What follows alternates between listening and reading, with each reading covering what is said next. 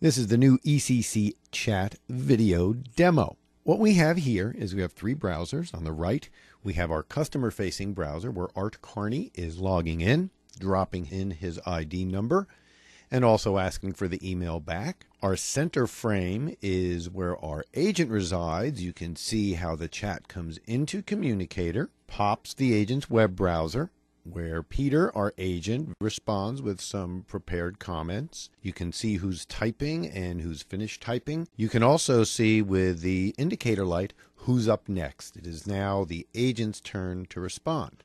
Looking at the supervisor side, the supervisor can review any of the chats as they are all marked in yellow, they're all closed. The supervisor chooses to open up the current chat with Art Carney and his agent Peter Pound.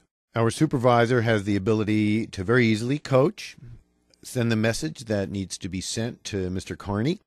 And at that point, we can see that Peter, once again, is able to jump on a prepared comment and send that right out. Our chatter responds. And at this point, our supervisor jumps into a barge in mode to assist the agent with the interaction. Very simple. We can see from the customer side that the supervisor is now connected, sends the message, Art Carney responds back, yes, everything is very well in the contact center today.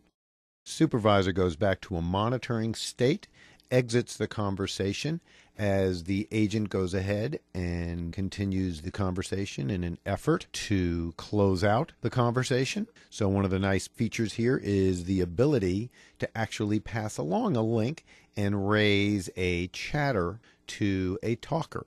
Hang up on the chat indicates a satisfied customer, ends the wrap, goes to lunch, pulls the proper release code, and our supervisor can now go back to work, see that the four chats have all been taken care of.